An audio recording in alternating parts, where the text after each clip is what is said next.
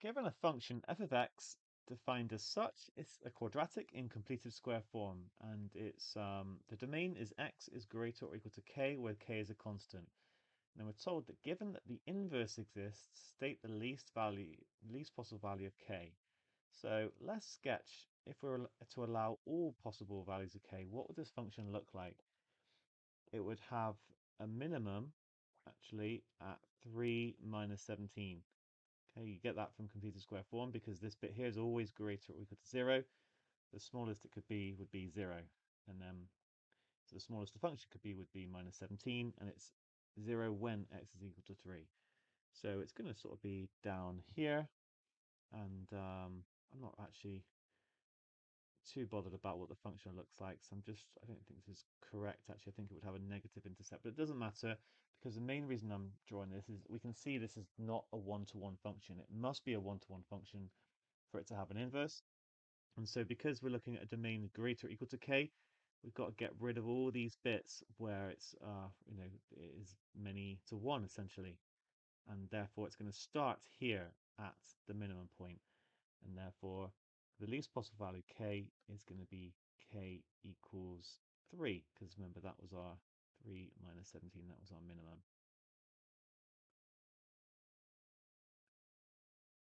Right, next up, evaluate f of f of 5. So I'm going to work out f of 5 first of all, put that in. Um, to be honest, just easiest I think just to put in a calculator. It's going to be 4 minus 17, actually minus 13. Now, it might be very tempting to then do f of f of 5, which is f of minus 13, and that bit is okay.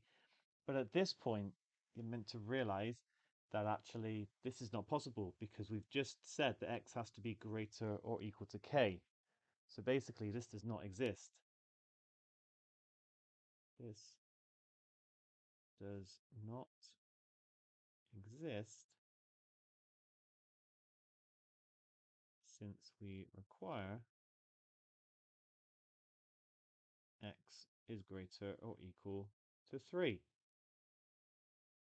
So that is actually the answer to this question. Um, yeah, minus 13 is not in the domain. I'll just write that as well.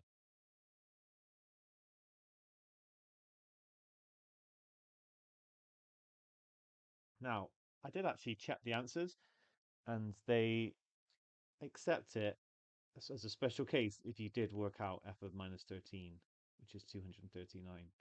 So don't be too hard on yourself. If you did get 239, you would still get the marks here because it was mainly testing you on that. But be aware of this, you know, uh, from, from now on. Okay, C, we're asked to solve the equation f of x is equal to x. So I've got my completed square form. I'll, I'll write it like that for the moment. And set equal to x. Right, I'm going to expand that out x squared minus 6x plus 9 minus 17 is equal to x, which means x squared minus 7x, from a minus x on both sides, this is minus 8, is equal to 0.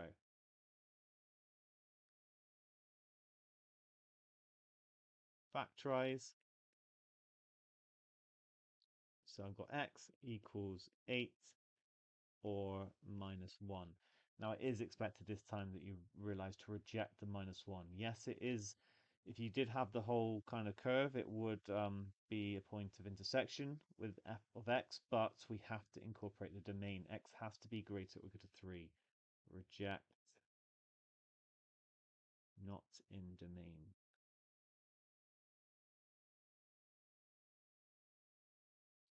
So we just get the one answer. Finally, explain why this solution to C is also the solution to the equation f of x is equal to the inverse. This is something to be aware of because another time you might get a question where you're asked to solve f of x equals the inverse and you can actually do what we just did here. So here's the key thing. f of x and the inverse actually related because they are reflections in y equals x.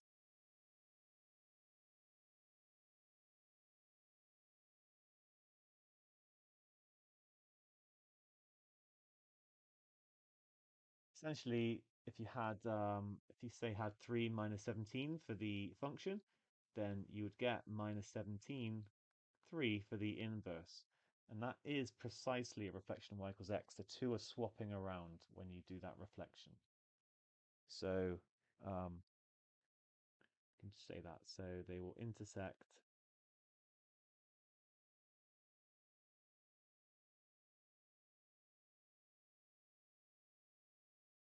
on y equals x.